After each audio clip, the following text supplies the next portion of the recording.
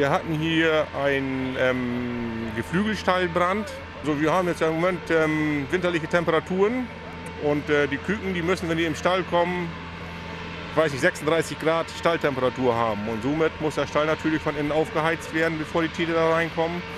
Und ähm, da wird Stroh eingestreut, damit die Tiere ähm, warmen Untergrund haben, dass sie also nicht auf Betondeckel sitzen. Und ähm, dieses Einstreuen und dieses Aufheizen des Stalles hat dann wohl zu Feuer geführt. Der Schaden da wird also mit Sicherheit deutlich über 100.000 Euro liegen. Die gesamte Innenrichtung ist verbrannt. Das ist schon einiges, was da zusammenkommen wird.